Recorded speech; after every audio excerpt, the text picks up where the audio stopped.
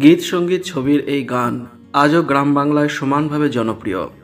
একই সঙ্গে জনপ্রিয় এই গানের অভিনেত্রী, যার অন্যতম পরিচয়, তিনি পরিচালক অঞ্জন চৌধুরীর ছোট মেয়ে, নাম রীনা চৌধুরী।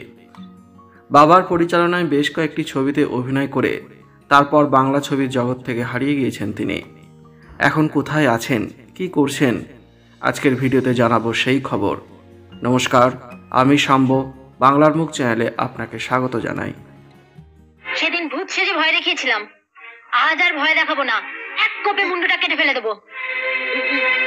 বরকে যদি আসতে না দাও, দিদির বিয়ে যদি বন্ধ হয়, তুমিও বাঁচবে। অঞ্জন চৌধুরী এবং জয়শ্রী চৌধুরীর ছোট মেয়ে রিনার জন্ম উনিশশো চুয়াত্তর সালে কলকাতায়।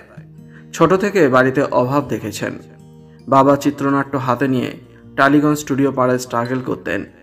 সেই সময় মা অত্যন্ত কষ্ট করে সংসার চালিয়েছিলেন। তবে উনিশশো চুরাশি সালে শত্রু ছবির হাত ধরে সংসারে পরিবর্তন আসে।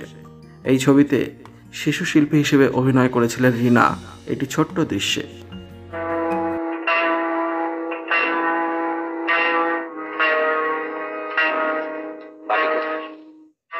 ওদিকে কি দেখছেন? আমার কথা জবাব দিন। বাপি কোথায়? আমি জানি না। তোমার দাদা কোথায়?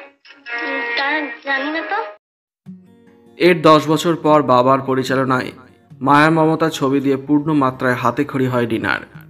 মায়া মমতাও ভীষণ জনপ্রিয় হয়েছিল। পরের বছর আব্বাজান ছবিতে রিনাকে নায়িকা হিসেবে অবতীর্ণ করেন অঞ্জন চৌধুরী। আব্বাজান ততটা জনপ্রিয় না হলেও গীত সংগীত ছবি রিনাকে ঘরে ঘরে পরিচিতি দেয়।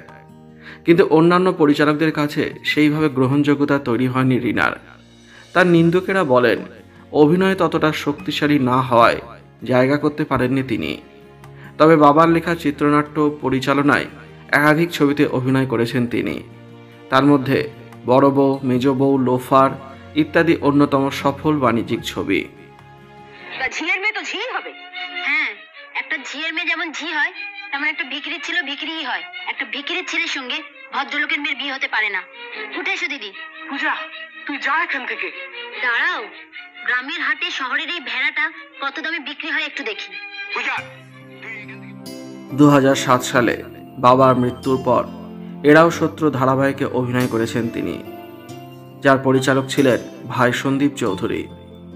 এরপর কম বাজেটের কয়েকটি ছবিতে কাজ করার পর ধীরে ধীরে অদৃশ্য হয়ে যান রীনা চৌধুরী।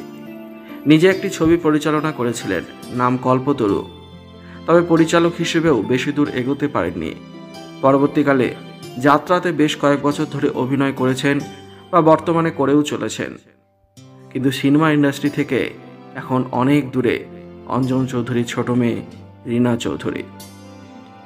ভিডিওটি ভালো লাগলে লাইক করবেন, শেয়ার করবেন, কমেন্ট করে আপনার মতামত জানাবেন। আর অবশ্যই চ্যানেলটি সাবস্ক্রাইব করবেন। ধন্যবাদ।